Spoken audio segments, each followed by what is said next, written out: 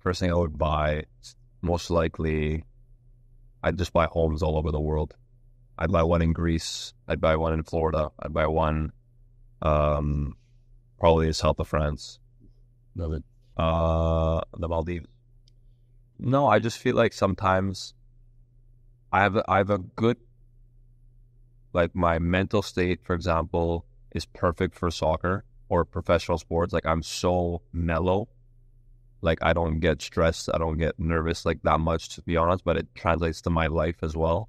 So sometimes I should be more caring, not caring, but like, you know what I mean? Like, Proactive. exactly. Show a little more energy. Exactly. But I'm something. I'm just calm, you know, like just like this, but I can maybe turn it up a beat. You could, yeah, Yeah. cool.